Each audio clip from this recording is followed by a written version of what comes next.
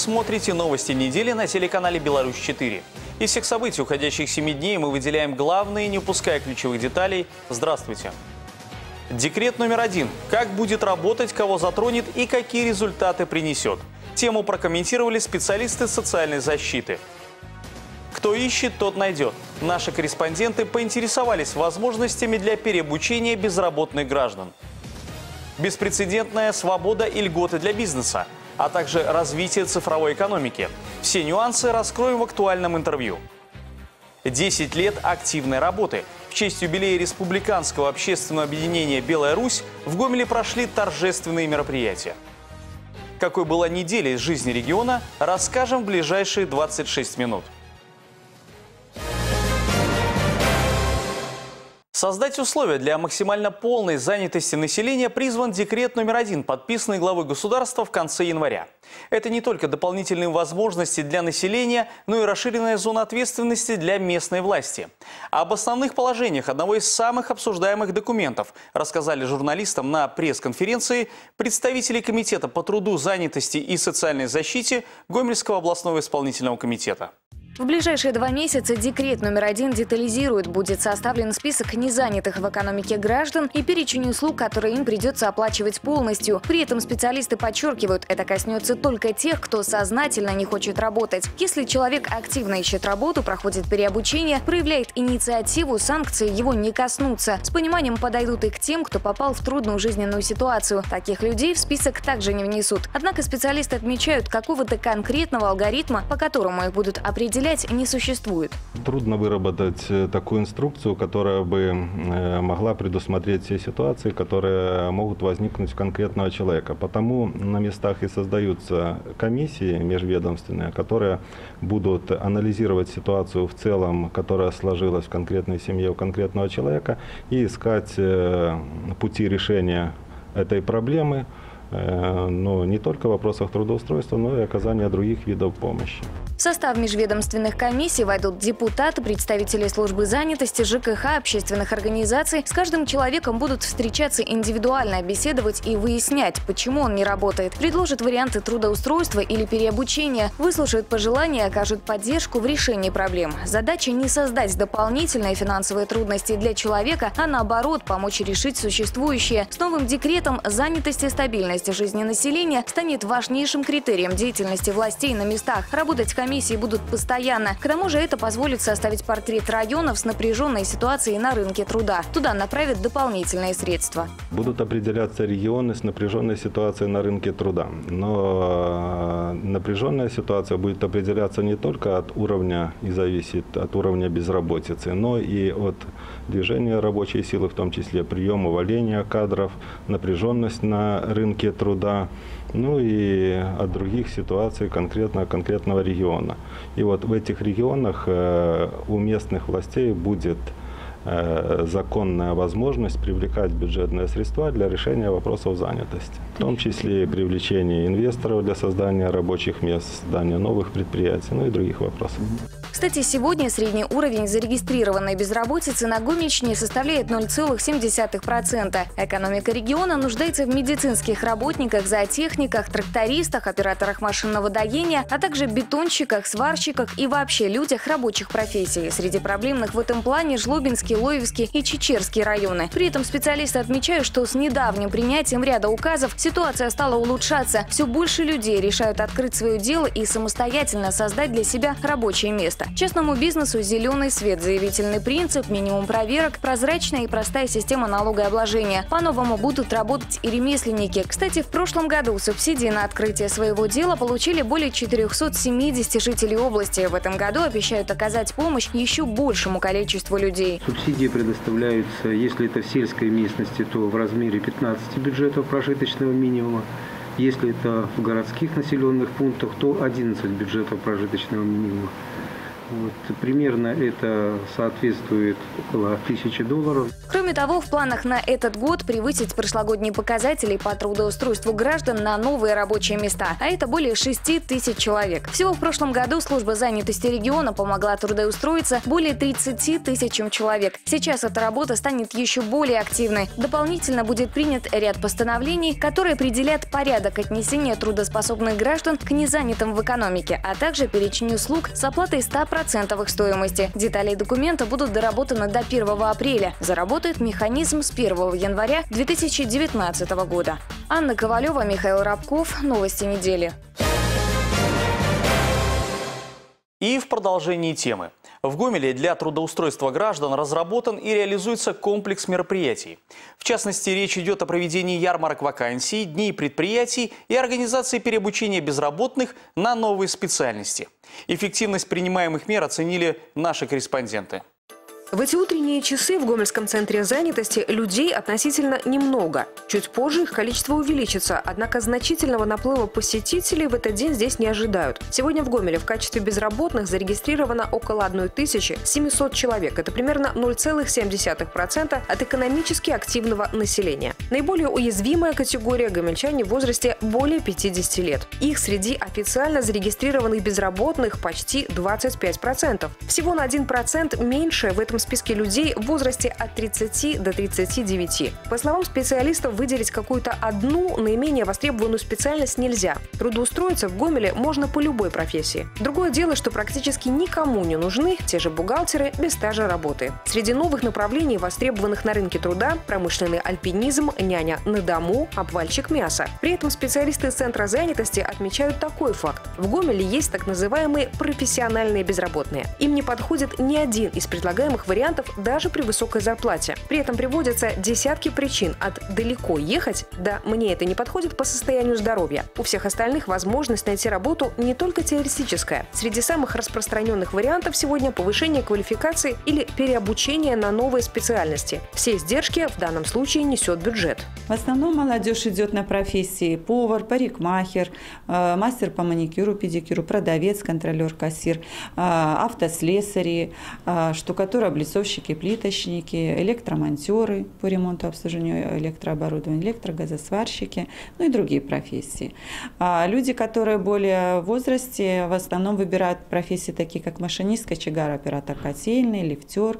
Но многие профессии еще э, перед тем, как мы отправляем на обучение, э, зависит еще от того, как человек по состоянию здоровья пройдет ли комиссию. Новые специальности с последующим предложением работы научат в срок от 3 до 6 месяцев. Сейчас в Гомельском центре занятости занятости формируются группы и подбираются учебные заведения, на базе которых можно будет получить новую профессию. Мы выбираем учебное заведение там, где дешевле, естественно, это из основных критерий, ну и не списывается обязательно и качество. То есть педагогический состав, мы смотрим опыт работы учебного заведения, мы смотрим, а, как они относятся именно к производственному обучению и практике, потому что это немаловажный аспект в обучении. Одно дело прочитать теорию, другое дело все-таки, когда человек руками попробует то, что он должен будет делать в дальнейшем. Ну и обязательное условие – это связи с предприятиями города для того, чтобы людям предлагалось по окончании работы. В случае, если они успешно сдают экзамены, получают хороший разряд, чтобы мы могли предложить им трудоустройство. Тенденция, которую необходимо обязательно учитывать тем, кто ищет работу или уже нашел ее. Высокая зарплата подразумевает и высокие требования со стороны нанимателя. Во-первых, никто не будет держать нарушителей дисциплины. Во-вторых, всем нужны профессионалы. Работников по инициативе нанимателя приходится увольнять нечасто. Нечасто. В общем-то, за проступки какие-то в общем-то, э, это единичные случаи. Что касается инициативы нанимателя, просто э, за качество выполняемых работ, ну, здесь немножко, может быть, и почаще. Александр Дейниченко в свое время работал и строителем, и юристом. Сегодня он слесарь по ремонту автомобилей, причем достаточно высокого, четвертого разряда. Именно этой специальности Александр на протяжении полугода учился в прошлом году. Работу нашел в Гомельской городской автобазе организации здравоохранения. Уходить откуда не собирается. Говорит, говорит, что в 50 лет хочется стабильности и уверенности. У меня раньше был техникум, и там техник-судоводитель образования было. И по нему мы двигатели изучали, поэтому я, в принципе, принял решение получить рабочую специальность и устроиться дальше работать по двигателям. В этом магазине продавцами работают сразу несколько человек, которые прошли переобучение с помощью Центра занятости. Еще в прошлом году Екатерина Ермилова была швеей, однако по ряду причин с этой профессией пришлось расстаться. Зато теперь, говорит, есть и любимое дело, и приличная зарплата, которая в дальнейшем будет только расти. Тем более, что вместе с профессией продавца женщина получила и специальность контролер-кассир, что делает ее более конкурентоспособной на рынке труда. Учеба мне понравилась, там хорошие педагоги, все хорошо объясняли. Практику проходила тоже как бы с легкостью, я все ну, понимала. Вот. Все понравилось. У меня две сестры продавца, я как бы третья. Олег Сюсюров, Ольга Коновалова, Валерий Гапанько, телерадиокомпания «Гомель». Новости недели. Вы смотрите новости недели. Мы говорим о главных событиях уходящих семи дней. Программу продолжит обзор от службы информации.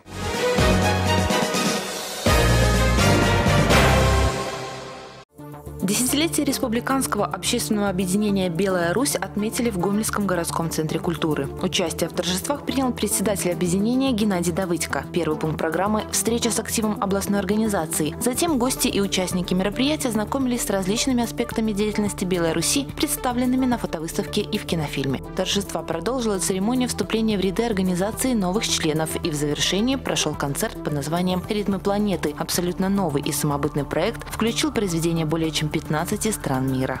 В Житковичском районе на этой неделе вновь установлена понтонная переправа. Режим ее работы будет зависеть от погодных условий. Планируется, что в ночное время, как и в последние две с половиной недели, с берега на берег людей будут доставлять на катере МЧС. Пока люди ждут его или рейсовый автобус, проводить время можно в пунктах обогрева Красного Креста. В них предлагают спрятаться от холода и выпить горячий чай. Волонтеры будут оказывать помощь, пока это необходимо. В свою очередь сотрудники МЧС продолжают дежурить круглосуточно. Движение по отремонтированному мосту планируется открыть до конца года. Сейчас специалисты готовят проект. В Гомельском филиале Международного университета МИЦО открылся первый в регионе криминалистический полигон. Здесь будут проходить практические занятия по подготовке специалистов для Следственного комитета. Размещено сразу шесть учебных площадок. На полигоне можно моделировать реальные следственные ситуации по тем видам преступлений, с которыми наиболее часто сталкиваются следователи. Жилая комната, где совершена кража, ванная, в которой убили человека, банковский офис. Здесь создана угроза информационной безопасности компании. Занятия будут проводить не только преподаватели Гомельского филиала Международного университета МИЦО, но и сами следователи с практическим опытом. Кроме того, со следующего учебного года студенты начнут заниматься еще и по новой программе, которая учитывает новые реалии в обществе. В частности, речь идет о развитии цифровой экономики. Мы продолжаем цикл интервью, в которых эксперты программы разъясняют и комментируют ряд недавних указов и декретов главы государства, направленных на развитие бизнеса и самозанятости. Сегодня в центре внимания указ президента о развитии цифровой экономики. Свое мнение высказала начальник отдела предпринимательства Комитета экономики Гомельского областного исполнительного комитета Марина Кривунь.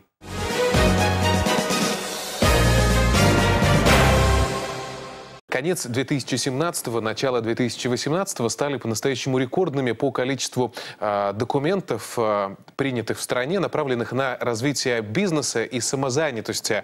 Что в первую очередь стоит выделить? Ну да, вы абсолютно правы. За последнее время, за последний буквально квартал, три месяца принято 8 э, нормативно-правовых актов. Это и декреты, и указы, и в их развитии другие документы. Э, я бы хотела обратить внимание на известный декрет номер 7, который направлен на развитие предпринимательской деятельности. Обсуждаемый, скажем прямо, Обсуждаемый, да, наверное, уже у всех на слуху. Э, отдельно выделить вопросы о занятости физических лиц, о возможности ими осуществлять ряд новых видов деятельности, а также вопросы развития общественного питания, розничной торговли и бытового обслуживания в сельской местности. Плюс к этому указы о развитии агротуризма и ремесленной деятельности. Итого 8, э, ну, скажем так, э, резонансных документов. Э, на чем э, стоит остановиться подробнее? Ну, я бы еще дополнила предыдущий наш вопрос. 376 указ, который будет регулировать контрольную деятельность. Тоже очень много изменений в него внесено. Э, и известный декрет, нашумевший, который, наверное, нету нигде в мире. Это декрет о цифровой экономике, декрет номер 8. А вот, вот тогда... здесь немного подробнее. Э, Но ну, на сегодняшний день это действительно революционный, уникальный документ. Э, на сегодняшний день им четко определены э, статус парка высоких технологий.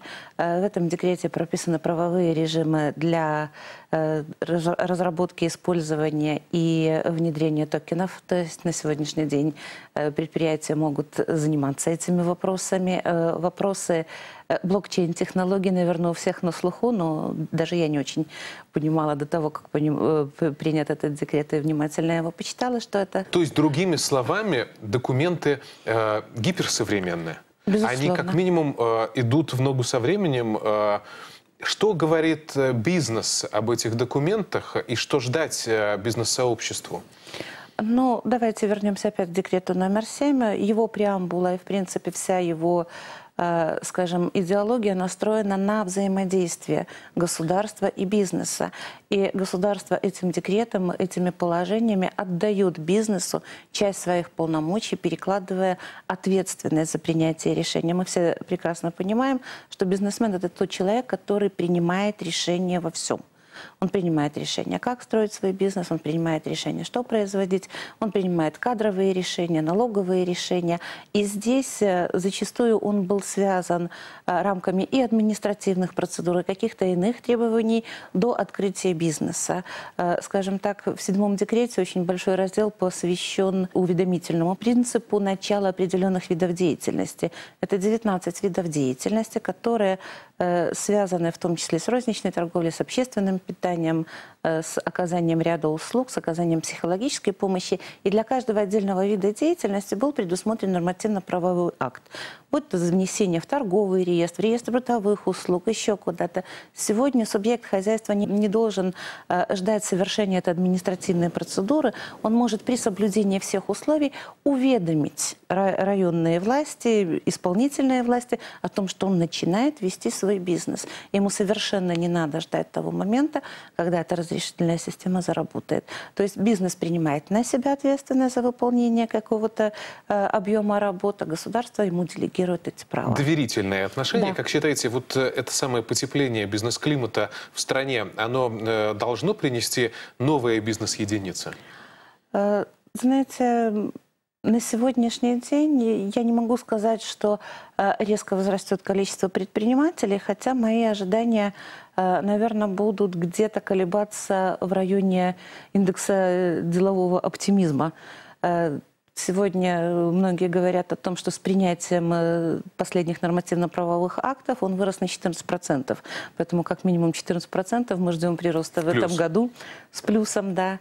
Э, ну, а вообще, в принципе, действительно, динамика численности и субъектов хозяйствования малых предприятий, и субъектов хозяйствования индивидуальных предпринимателей, она находится где-то в таком э, в относительно спокойном состоянии. Но я думаю, что все-таки с принятием этих документов количество и индивидуальных предпринимателей, и юрлиц возрастет, а самое главное, возрастет количество физических лиц, которые наконец-то выйдут из тени и смогут совершенно спокойно осуществлять свой вид деятельности, частности, как у нас долгое время э, в рекламе, заплати налоги и спи спокойно. Сделаем каждый свой вывод. Э, до новых встреч в эфире «Беларусь-4». Спасибо. Прозаик и драматург, член Союза писателей Беларуси и Союза театральных деятелей Василий Ткачев отпраздновал свое 70-летие. В честь юбилея гомельского литератора в Центральной городской библиотеке имени Герцена прошел его творческий вечер под названием «Творить значит жить». На встречу с писателем отправилась и наш корреспондент Анна Каральчук. А сегодня раніцы, як і планавалася, мой Синичкин накіраваўся на працу на новым аўтамабілі. Ой, праважаючым аж праслязілась, ей-богу.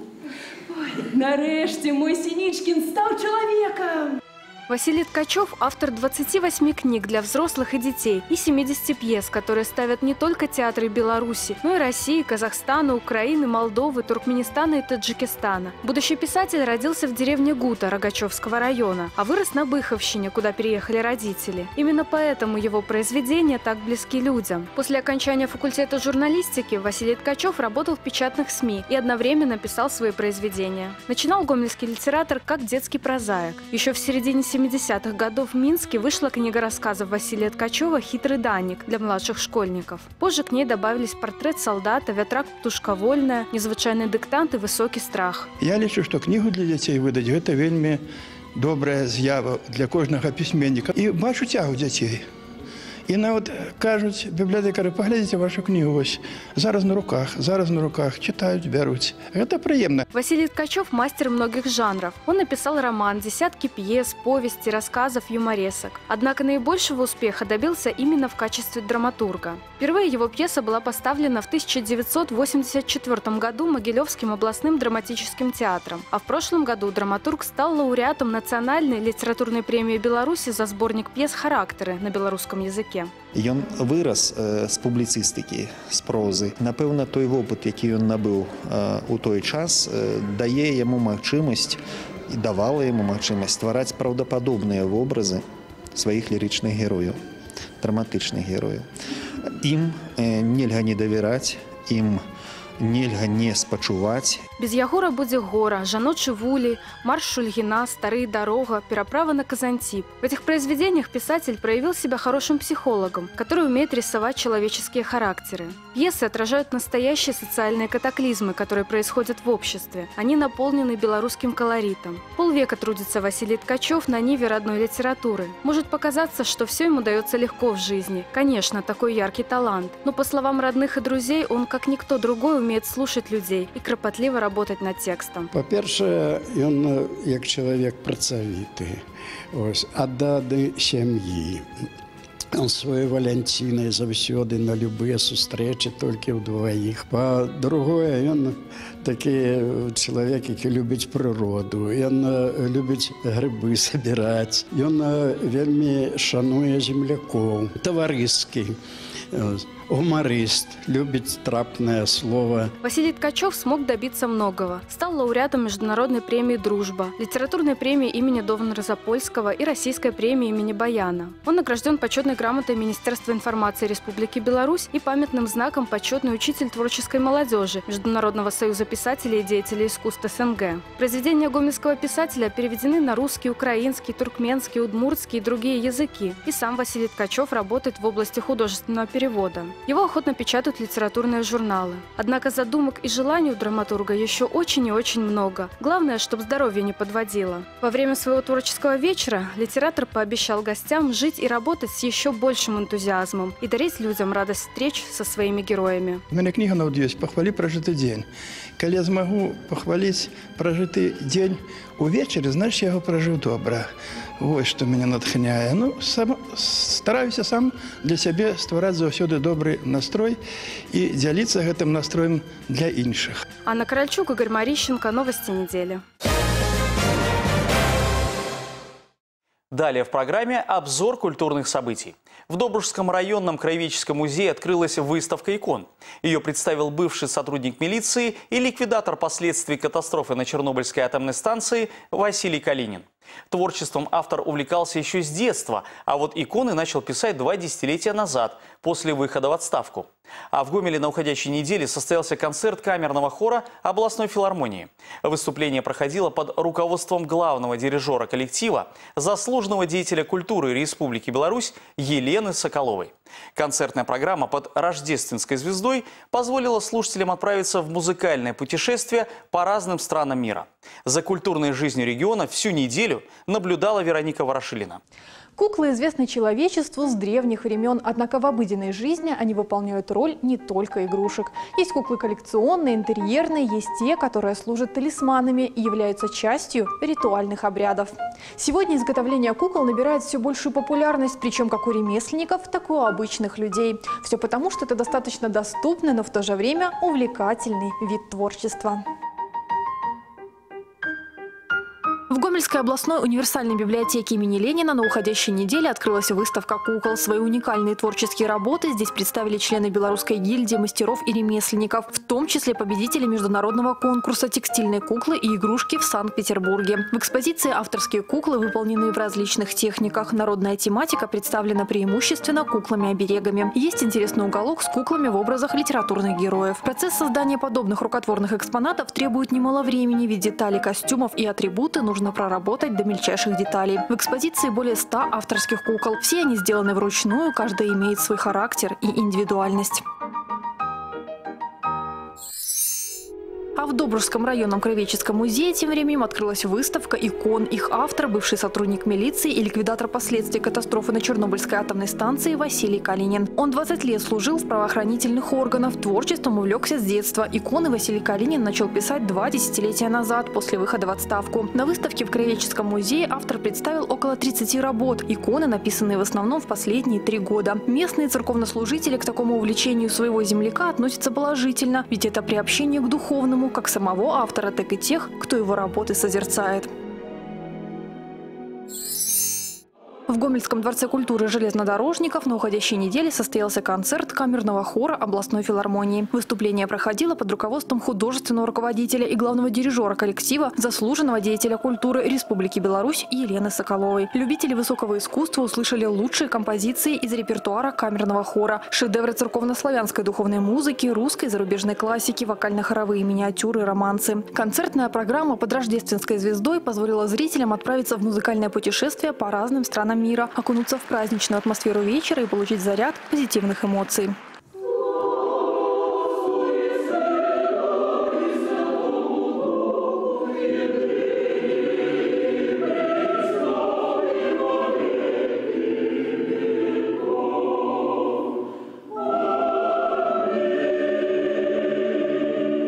Следующая неделя нам также подарит немало интересного. В Гомеле состоится третий международный фестиваль света «Гомель Лайтфест». Свое творчество представят коллективы и индивидуальные исполнители из Беларуси, России и Украины.